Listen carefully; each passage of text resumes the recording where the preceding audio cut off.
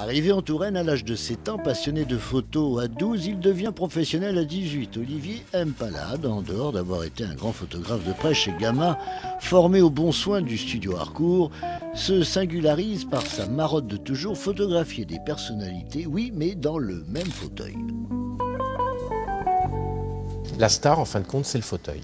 Et ce qui est assez intéressant, parce que des, personnages comme euh, même Belmondo ou, ou euh, euh des, gens assez importants qui sont quand même très reconnus en France, quand ils me posent la question qui a été photographié sur le fauteuil, que je parle de Denzel Washington, Meryl Streep ou euh, Allen, ils sont impressionnés d'un seul coup. ça les ramène comme des petits-enfants. Ils se livrent totalement, ils sont impressionnés par, par le fauteuil. Donc c'est vraiment, c'est pour ça que je dis la star, c'est le fauteuil. Tour événement rend hommage à ses portraits réalisés en France, mais ce boulimique de photographie a longtemps travaillé à Genève, Washington et New York. Il rentrera en France après les événements du 11 septembre. Depuis 25 ans, il promène son fauteuil dans le monde et ce n'est pas toujours de tout repos.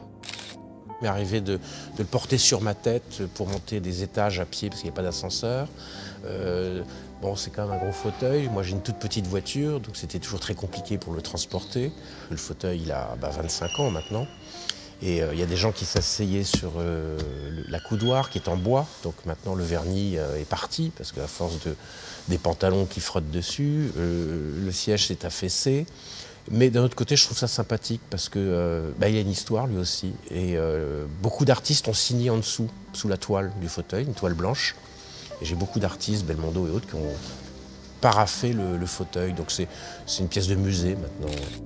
Le fauteuil de ce faux calme rassurant a fait de lui l'ami, voire le confident de ceux qui, le tentent d'un moment, se posent en toute liberté.